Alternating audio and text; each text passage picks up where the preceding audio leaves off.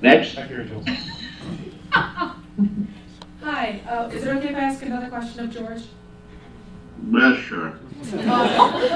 I'm just wondering, uh, how do you choose which episodes you're going to write and direct? I, I don't, David and Dan choose it.